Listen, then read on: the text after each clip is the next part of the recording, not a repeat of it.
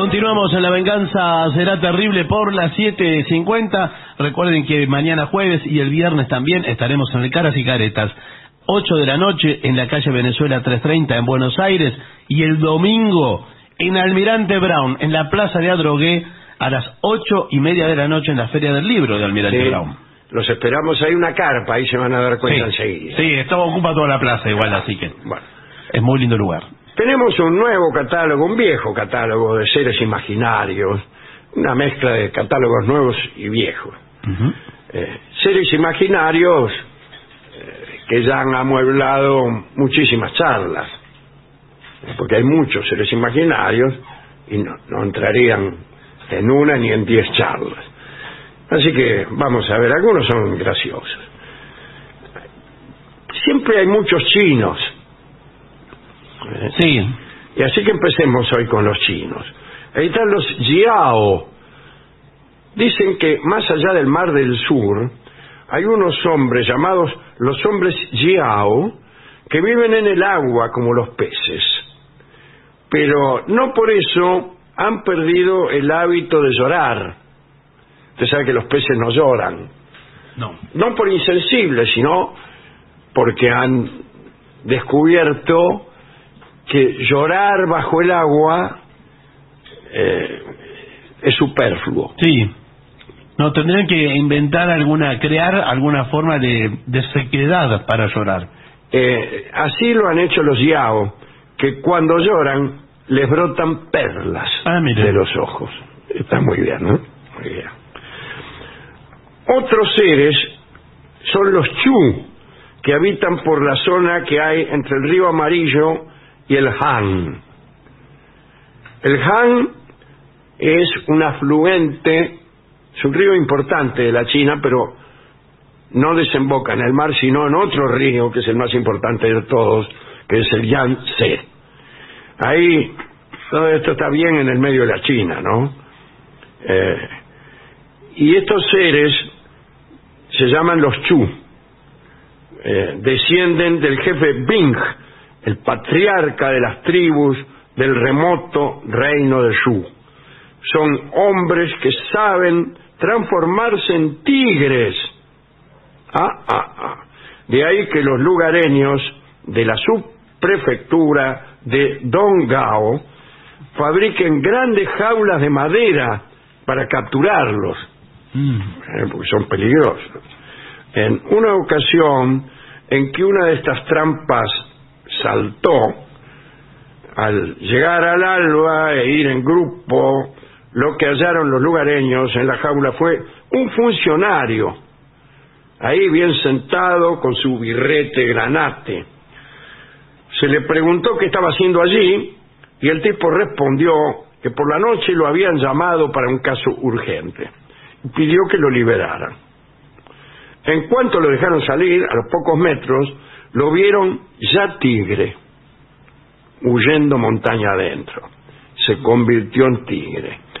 Y otra alusión a los chuzos tiene que no son hombres. Esta es la explicación, digamos, de lo que ocurrió con el funcionario. No son hombres, sino tigres. Tigres que saben convertirse en hombres, que sienten preferencia por la ropa color malva y que carecen de talón. Estas historias sobre hombres aparentemente muy respetables que en determinado momento, especialmente al huir, se convierten en tigres, son frecuentes en la China. Y usted se habrá acordado seguramente de los capiangos, del tigre capiango, que es el siguiente eh, animal imaginario que tenemos en el catálogo, y este es de la Argentina, ¿no? Eh, capiango o también yaguaretea va, para decirlo en guaraní, cuya característica más sobresaliente consiste en poder convertirse en seres humanos, pero manteniendo intactas todas las destrezas y los instintos y la ferocidad salvaje del tigre. La historia patria ha rescatado esta creencia. Muchos pensaban que el caudillo Juan Facundo Quiroga tenía en su tropa 400 capiangos. Y el, general Paz, en sus memorias, general Paz es el enemigo histórico de, de Facundo, ¿no? Da cuenta del testimonio de un paisano que sostenía que Quiroga era invencible en la guerra, en el juego y en el amor. Y cuenta el general Paz que antes de la batalla de la Tablada habían desertado 120 hombres de un escuadrón por temor a los capiangos de Quiroga. Bueno. Vamos a Pensilvania, en los Estados Unidos, y allí vive el squonk, que tiene un área de cobertura muy limitada, justamente Pensilvania. Fuera de allí, pocas personas han oído hablar del skunk. Se dice que es bastante común en los cicutales de aquel estado. El skunk es muy osco, generalmente viaja a la hora del crepúsculo. La piel, que está cubierta de verrugas y lunares, no le calza bien, ¿no? Eh, le queda floja. Los mejores jueces dicen que es el más desdichado de todos los animales, el más triste. Rastrearlo es fácil porque llora. Llora continuamente y deja una huella de lágrimas. Cuando lo acorralan y no puede huir, o cuando lo sorprenden y lo asustan, el skunk se disuelve en lágrimas. Los cazadores tienen más éxito en las noches de frío y luna, cuando las lágrimas caen despacio. Hay que decir también que a este animal no le gusta mucho moverse y que su llanto se oye bajo las ramas de los arbustos de cicuta y lo delata. Claro. Lo delata. El señor J.P. Wendling tuvo una triste experiencia. Había imitado el llanto del skunk y lo había inducido a meterse en una bolsa que llevaba. Entonces agarró la bolsa y se fue para su casa. De pronto notó que la bolsa le pesaba poco y que ya no lloraba el skunk. Abrió la bolsa y solo quedaban en su interior lágrimas y algunas burbujas. Se disolvió, se disolvió. El asno de tres patas. Ya Plinio habló de este monstruo benefactor. Plinio atribuye a Zaratustra la escritura de dos millones de versos. El historiador arábigo Tabari afirma que las obras completas de Zoroastro o Zaratustra, eh, eternizadas por calígrafos piadosos, abarcaban 12.000 cueros de vaca. Es fama que Alejandro de Macedonia los hizo quemar en Persépolis, pero la buena memoria de los sacerdotes pudo salvar los textos fundamentales y desde el siglo IX los complementa una obra enciclopédica, el Bundahish, que contiene la página que sigue y que paso a leer directamente desde un cuero de vaca. Ah, de ahí, cuidado. Extiéndalo acá. Bueno, del asno de tres patas se dice que está en la mitad del océano, que tres es el número de sus cascos, seis el de sus ojos, nueve el de sus bocas y dos el de sus orejas y uno su cuerno. El pelaje es blanco, es un tordillo.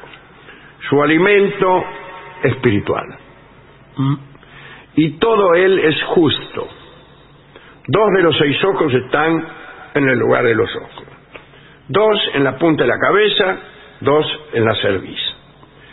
Con la penetración de los seis ojos rinde y destruye. Mira vos. Cada casco puesto en el, suelo cubre el lugar de una majada de mil ovejas y bajo el espolón pueden maniobrar hasta mil jinetes. El cuerno es como de oro y hueco, y le han crecido mil ramificaciones. Con ese cuerno vencerá y disipará todas las corrupciones de los malvados. Se sabe que el ámbar, que conocemos, es el estiércol del asno de tres patas. En la mitología del maceísmo, la religión de Persia, eh, la antigua religión de Persia. Este monstruo es uno de los auxiliares de Aura Mazda, o sea, Hormuz, el, el principio de la vida, de la luz y de la verdad. Sabe que en, en aquella religión, el mazdeísmo, aparece también la idea del bien y del mal, de la luz y la sombra. En la misma región prosperó el maniqueísmo. Y la figura contraria, opuesta a Hormuz, es Ahariman, es el, el demonio. ¿no? Esto es todo lo que podemos decir del asno de tres patas. Leeré ahora el último texto de este catálogo.